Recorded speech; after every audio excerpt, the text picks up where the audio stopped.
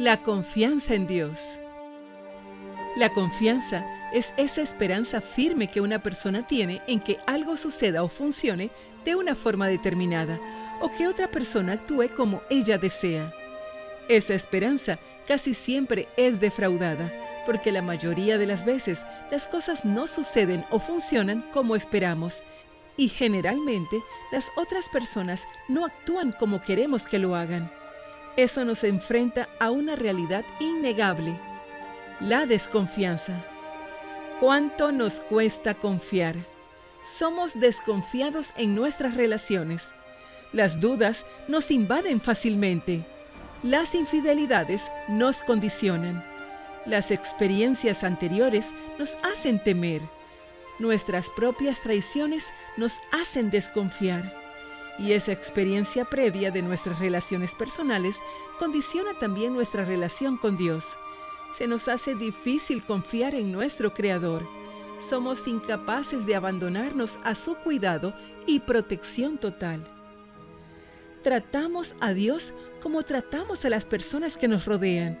Desconfiamos de Él como desconfiamos de los demás. Pero hoy es un buen día para renovar nuestra confianza en Dios depositar nuestra seguridad en sus manos, centrar nuestras debilidades en su fortaleza. Esa confianza en Dios nos abre las puertas del corazón de Jesús, de ese corazón que supo abandonarse en los brazos del Padre, de ese corazón que nos da la garantía que Él nos cuida y nos da la seguridad que con Él somos invencibles. Solo amando a Jesús y entrando en su sagrado corazón, estaremos sintonizados en el lenguaje del amor verdadero. Es el lenguaje que nos permite abandonarnos confiando plenamente en Él.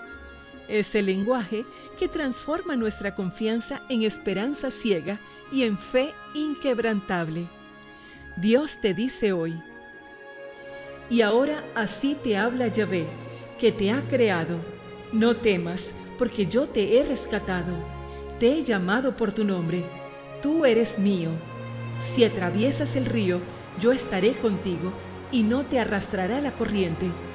Si pasas por medio de las llamas, no te quemarás, ni siquiera te chamuscarás, pues yo soy Yahvé, tu Dios, el Santo de Israel, tu Salvador. Isaías capítulo 43, versículos 1 al 3. El miedo no puede ni debe existir cuando nos apoderamos de esta promesa del Señor.